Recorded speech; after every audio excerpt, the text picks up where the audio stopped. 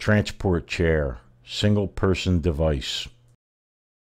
Transferring onto and off of the transport chair. Be sure the brakes are locked and the footrests are folded to the vertical position before getting into or out of the transport chair. Brakes. Squeeze to engage the brake. Push down to lock brake in place.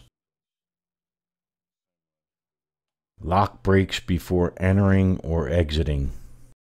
Seatbelt. Do not operate the transport chair without first fastening the seatbelt, which is intended to protect the operator against accidental falls and serious injuries. Insert the buckle to lock. Pull the tab to tighten. Squeeze the tabs to release. Footrests. Line the holes up with the pins. Swing forward to lock in place. Place footplate upright before sitting.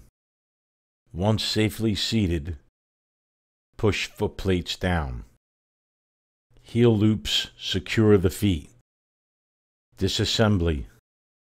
Lift up the footplates. Press the lever to release. Lift the footrest straight up. Lift the seat from the center.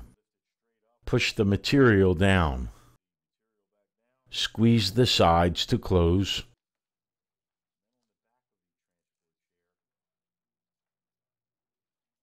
Press the buttons to lower arms.